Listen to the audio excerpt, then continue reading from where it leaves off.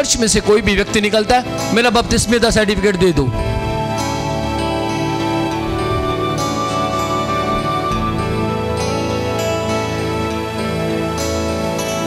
क्या साबित करना चाहते हैं ध्यान से सुनिएगा बैप्टिज्म सर्टिफिकेट है हमारे पास, हम देते हैं, लेकिन बपतिस्मे का सर्टिफिकेट को राशन कार्ड नहीं है। बपतिस्मे का सर्टिफिकेट कोई पासपोर्ट नहीं है। मेरा मुंडा बाहर जा रहा है जी मैं सर्टिफिकेट दे दो।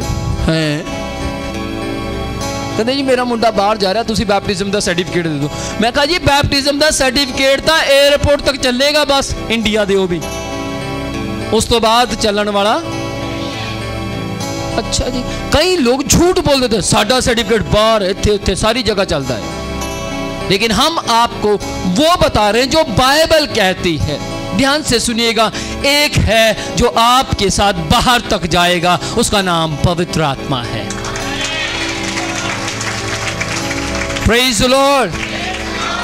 हाँ हम लोग बैप्टिज्म सर्टिफिकेट देते हैं। बैप्टिज्म सर्टिफिकेट से आप अपने बच्चे की एडमिशन करवा सकते हैं। लेकिन ध्यान से सुनिएगा, वहाँ जस्ट देखा जाएगा। उससे भी मेन है आपके बच्चे का डेडिकेशन सर्टिफिकेट क्या है?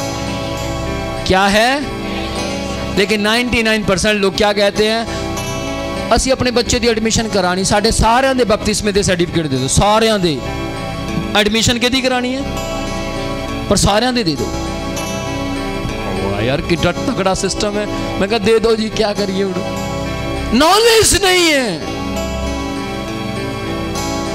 आप कौन से स्कूल में हैं आप कौन सी जगह पर सीख रहे हैं? मायने रखता है आपकी संगति कैसी है। मैंने बहुत से लोगों को देखा, खड़े होकर बोलेंगे प्रेज लॉर्ड प्रेज लॉर्ड प्रभु के नाम की महिमा। मैं आज तक ऐजा सामर्थ्य नहीं देखा। लेकिन थोड़े समय के बाद उनके घर में लड़ाइयाँ हो रही होती है। अपोजिट छोटे वर्ग का बनते ही कोई नहीं है। थोड़े समय के बाद उनके घरों में तलाक चल रहे होते हैं। सर, मैं तो भर गई थे आगे। लेकिन थोड़े समय के बाद वही बहन रोड पर खड़ी हुई गालियाँ दे रही होती है। मेरी बात ध्यान से सुनिएगा, आप में ऐसा स्वभाव नहीं होना चाहिए, क्योंकि मसीह लोग ऐसे नहीं होते। समझ पा रहे हैं? समझ पा रहे हैं? मैंने बहुत से लोगों को देखा, पास्टर पास्टर का विरोध। सुना है मैंने, मेरे सामने आज तक कभी किसी पास्टर ने किसी की बुराई नहीं की, क्योंकि मैं सुनता नहीं हूँ। मैं पास्टर को बोला चुप रहो अपनी बात करो। नहीं नहीं, मैं तो वैसे वैसे कह रहा सी मतलब सुनता लो। मैं मेरी गल सुन यार, स्वर्ग जाना है। बाइबल कहती है, ते परमेश्वर के पवित्र तंबू में कौन वास करेगा वही जो धार्मिकता के काम करता है? अपने पड़ोसी की निंदा ना करता ना करता ना करता। ना सुनता है। बुराई सुनने के बाद कह रहे हैं ऑर्डिनेशन कर दो जी। सानू अभिषेक दे दो जी। अभिषेक कहाँ से अभिषेक मिले? कौन से अभिषेक की बात कर रहे हैं? आप ध्यान से सुनिएगा, आपको त्रि एक परमेश्वर को पहले समझना होगा। यीशु मसीह जब से उन्होंने जन्म लिया था, तब से लेकर मौत तक यीशु मसीह ने बुराई नहीं की। वो सर्टिफिकेट के पीछे नहीं रहे। वो अपने पिता की आवाज़ को सुनते थे और पवित्र आत्मा के द्वारा काम करते थे। Amen. मेरा विश्वास है बहुत से लोगों के कान की मैल निकल रही है। मेरा विश्वास है आज बहुत से लोगों को यह बात चुप रही होगी। किसी ने मेरी गल दास्ता नहीं दी मेरी चुगली कितनी है। मैनू सुनाया जा रहा है। ध्यान से सुनिएगा, यीशु मसीह ने कहा, ए, सांप के बच्चे, तुम्हें किसने जता दिया? किन क्या तेन क्या मैनू क्या उन्हें कहा, सानू कह रहा हो। अच्छा सानू कह रहा सप दे बच्चे? माइंड योर लैंग्वेज मुँह संभाल के गल कर, असी फरीसी हाँ यीशु मसीह कहता है बाइबल के मुताबिक तुम सांप के बच्चे हो, क्योंकि तुम्हारी बातें शैतान से मैच खाती हैं। आपकी बातें किससे मैच खाती हैं? ओ, आवाज़ कम है। पक्का? तो परमेश्वर बुराई न करता है, न सुनता है। यूसुफ जी अपनी पत्नी को चुपके से छोड़ देना चाहते थे, क्यों? क्यों? क्यों? नहीं नहीं नहीं। यूसुफ जी अपनी पत्नी को चुपके से छोड़ देना चाहते थे क्योंकि यूसुफ को मालूम था, मेरी सगाई जिस औरत के साथ हुई है, वो धर्मी है। और धर्मी व्यक्ति धर्मी की बुराई नहीं करता। ओह माय गॉड ओफो ये मैं क्या बोल गया? ये मैंने क्या बोल दिया? ये वो बातें हैं जो बाइबल में लिखी है। और ऐसी अनोखी बातें केवल पवित्र आत्मा बोल सकता है। Amen. यदि आपको समझ आ रहा है तो ज़ोर से चिल्लाकर बोले, यीशु के लहू की जय। बोले, मैं यीशु के लहू में निर्दोष हूँ। जब आप यीशु के लहू में निर्दोष है तो आपके विवाह बाइबल से होने चाहिए। जब आप यीशु के लहू में निर्दोष हैं तो आपके परिवारों में पंचायतें नहीं होनी चाहिए। जब आप यीशु के लहू से निर्दोष है तो आपके फैसले करने के लिए पुलिस ना आए। ध्यान से सुनिएगा। मैं उस व्यक्ति को पति नहीं कहता, जो पत्नी को संभालना ना जाने। मैं उस पत्नी को पत्नी नहीं कहता, जिसको अपने घर चलाना ना आता।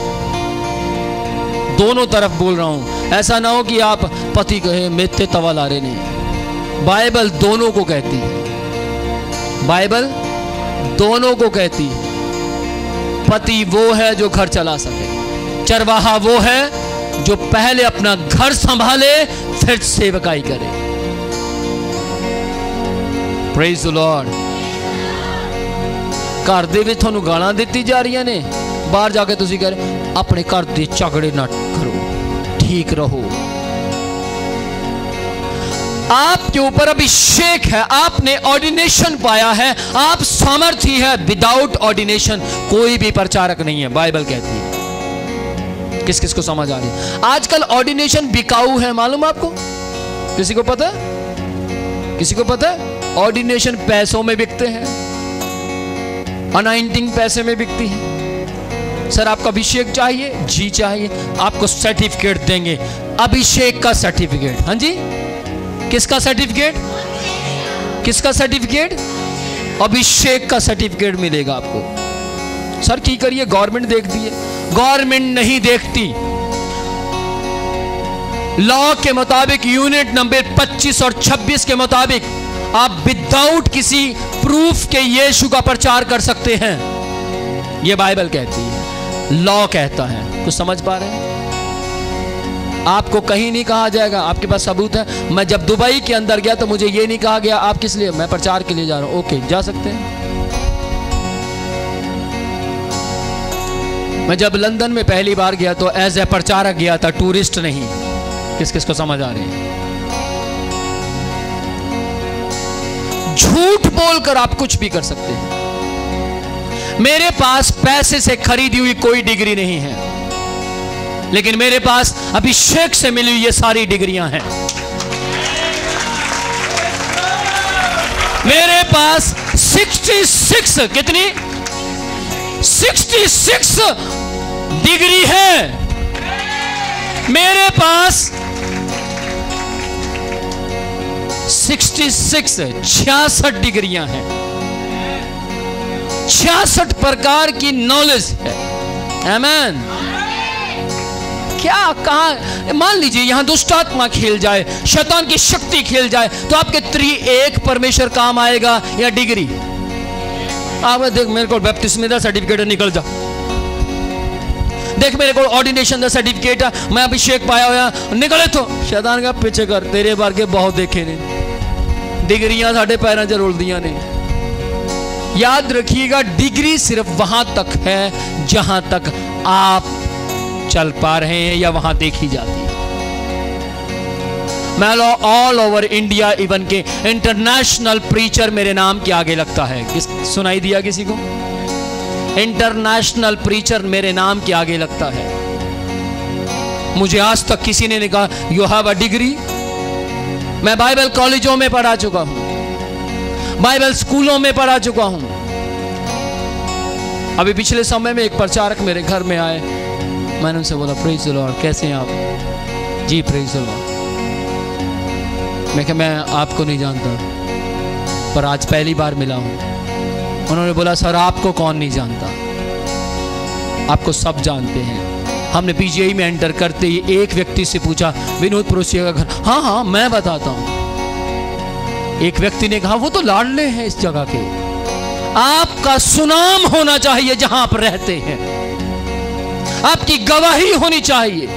यीशु की गवाही थी, ये ना पाप करता है, ना करवाता है।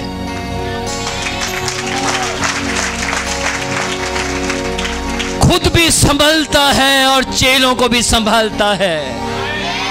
खुद भी अच्छे काम करता है और चेलों को भी सही शिक्षा देता है। Amen. Praise the Lord. Praise the Lord. हो सकता है बहुत से लोग आपको कहें, विनोद प्रोचिया मैं जानता हूँ, मैं उनके चाचा का बेटा हूँ, उनके पास कुछ भी नहीं है हो सकता है हाँ या ना हाँ या ना यीशु के अपने भाई उसके विरोध में थे यीशु के अपने भाइयों ने उनका विरोध किया हो सकता है आपको कोई आकर कहे मैं विनोद पुरोचिया को अच्छी तरह से जानता हूँ, सन इतने के इतने से। पिछले समय की बात है, भाई भारद्वाज नेगी। किस किसने सुना है ये नाम? भाई भारद्वाज नेगी। आज आप देखिए, मैं उनके गवाही दे रहा हूँ। भाई भारद्वाज नेगी को किसी ने कहा कि मैं विनोद प्रोचिया को अच्छी तरह जानता हूँ। आप क्या जानते हैं? मैं अच्छी तरह जानता हूँ, उनकी शिक्षाएँ ऐसी हैं, ये है, वो है। भाई भारद्वाज नेगी ने बोला भैया, मैं सन 2002 से जानता हूँ विनोद प्रोचिया को। एक रजाई में सोया हूँ और आज भी उनका फॉलोवर हूँ। BCI believer church of India में वो फादर रहे हैं। आज भी वो कहते हैं, मैं आपके सारे सरमन सुनता हूँ। आज भी वो मुझे कॉल करते हैं। मेरे पुराने रिलेशन टूटे नहीं हैं। समझ पा रहे हैं? मैं आपको क्या कहना चाहता हूँ? जब आप त्री एक परमेश्वर को समझ जाएँगे, जब आप त्री एक परमेश्वर की सामर्थ को समझ जाएँगे, फिर आपकी नींव के ऊपर मुद्दे उठने शुरू हो जाएँगे। जब आप गॉड को गॉड कहेंगे, मैं क्या कह रहा हूँ? जब आप गॉड को गॉड कहेंगे, तब आपका विरोध शुरू हो जाएगा। जब आप मिक्स, कुछ भी रड़ा मिला, कुछ भी मिला दिया, मिक्स करके दे दिया, कहीं मैदा मिक्स कर दिया, कहीं कुछ मिक्स कर दिया, विश्वासी मरेंगे, बचेंगे नहीं। लेकिन ध्यान से सुनिएगा, मैं परमेश्वर के नाम को आदर और सम्मान देते हुए कह रहा हूँ। मेरी पीठ के पीछे कौन क्या बोलता, मुझे नहीं पता, लेकिन मेरे आँखों के सामने खड़े होकर लोग बोलते हैं, हमने आपके जीवन से आशीष पाई है।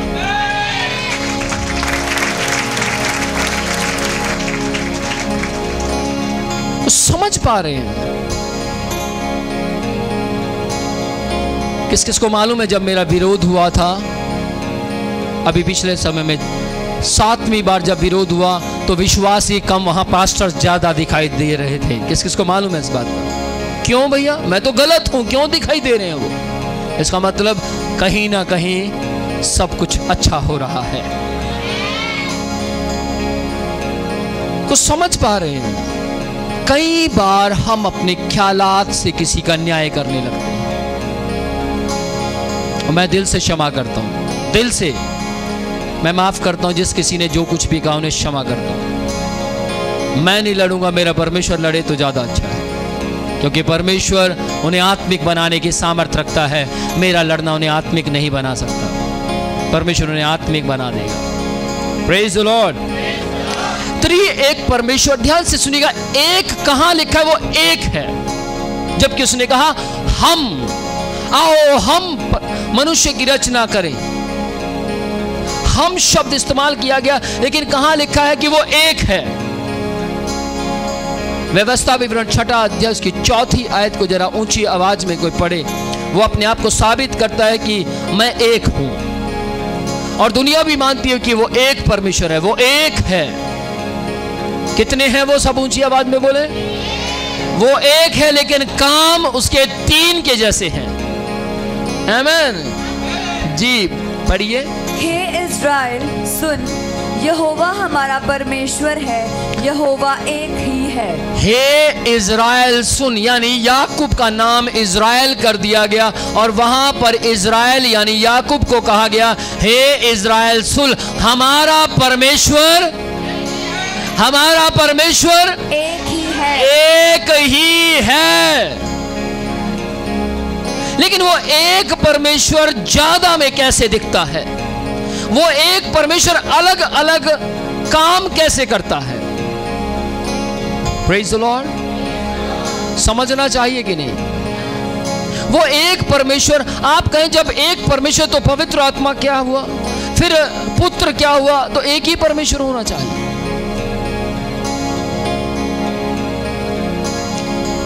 पढ़िए जरा रोमियो, पहला अध्याय, उसकी बीस आयत को जरा पढ़े ऊँची आवाज़ में।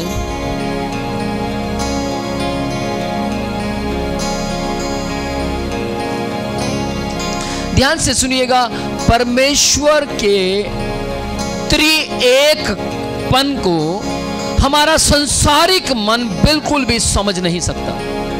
लेकिन जैसे ही हम आत्मिक हो जाते हैं, हम त्रि एक परमेश्वर को समझ सकते हैं।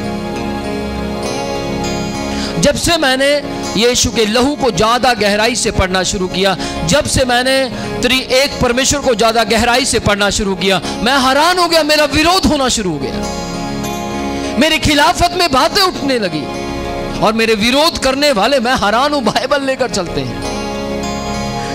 मैंने मैंने पूछा कि क्यों क्यों आप विरोध कर रहे हैं? नहीं नहीं नहीं नहीं, कुछ नहीं है, मैं हक्का बक्का रह गया।